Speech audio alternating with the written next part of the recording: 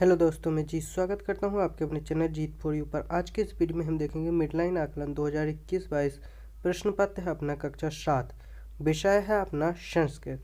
तो वीडियो में आगे बढ़ने से पहले वीडियो को लाइक एंड चैनल को सब्सक्राइब कर दीजिए, ताकि आने वाली वीडियो का नोटिफिकेशन आपको मिल सके।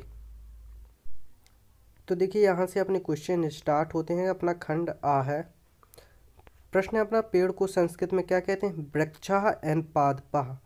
इसके बाद मित्र का बहुवचन है, मित्राणी। उपवनम शब्द का हिंदी अर्थ है बगीचा या उपवन आगे चलेंगे अपन। अगला क्वेश्चन है अपना अहम मयूरा। इस वाक्य में मयूर शब्द का अर्थ है मोर या मयूर। दिए गए उदाहरण के अनुसार शब्द रूप लिखिए। जैसे, उदाहरण अपना मोहन, मोहनो, मोहना। तो इसका है वृक्ष, वृक्षो एन वृक्षा।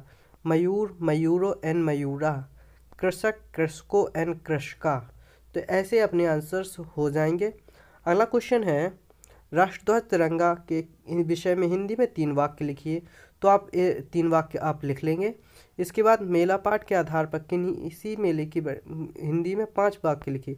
तो यहाँ पर आप किसी मेले का वर्णन अच्छे से आराम से लिख सकते हैं। अपन आगे चलेंगे। अगला क्वेश्चन है अपना सही जोड़ी बनाइए। जैसे वट वट का क्या हो जाएगा? वर्गद। कपूत का क्या हो जाएगा? कबूतर। अहम का क्या हो जाएगा? यह। और भ्रमम का क्या हो जाएगा? भौरा। एंड तितली का क्या हो जाएगा? तितली का। अगर चाहे तो ऐसे मिला सकते हैं। कपूत, कबूतर, अहम, भौरा एंड तितली का। तो ऐसे भी आप मिला सकते हैं। अगला क्वेश्चन होगा। कोष्टक में दिए गए शब्दों के आधार पर रिक्त स्थानों की पूर्ति कीजिए। जैसे हवाई जहाज़ को संस्कृत में क्या कहते हैं? वायुयानम। कंप्यूटर को संस्कृत में क्या कहते हैं? संगणयंत्रम। इसके बाद मोबाइल का संस्कृत में नाम है चलित दूरभाष यंत्रम। दूरदर्शन को संस्कृत में कहते हैं दूरदर्शनम। और फ्रिज का संस्कृत में नाम है शीतलक यंत्रम। तो ये भी देख लिया अपन अगला क्वेश्चन अपना उदाहरण के अनुसार संस्कृत संख्या के आधार पर दिए गए स्थान पर गोला लगाएँ। उदाहरण, जैसे सठ। एक, दो, तीन, चार, पाँच, छः। तो छः हो जाएँगे। नम।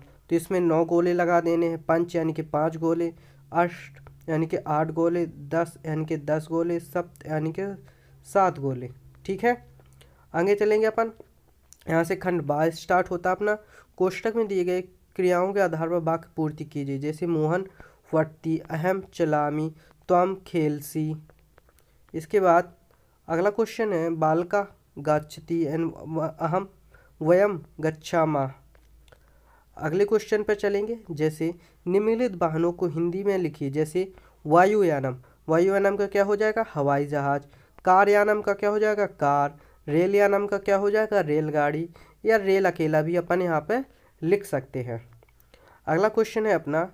निम्नलिखित शब्दों के उदाहरण के अनुसार विपरीत लिंग वाले शब्द लिखिए। जैसे, पुत्र का पुत्री जनकह का जनकी।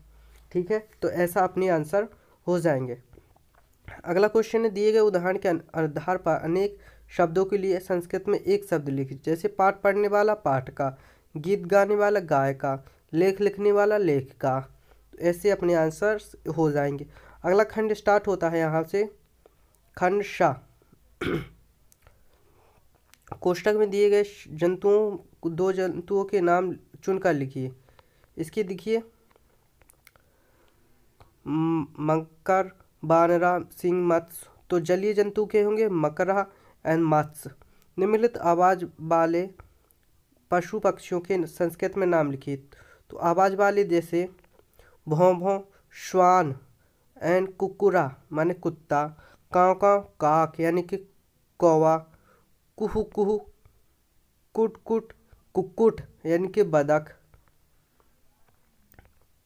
निम्नलिखित में से निम्न शब्द को चुनकर लिखे, जैसे गोलिका मक्षी का व्याध एन पिपलिका। तो व्याध हो जाएगा इसमें अलग, आलू पत्र गोभी मूल का एन कंद पत्त गोभी हो जाएगा इसमें।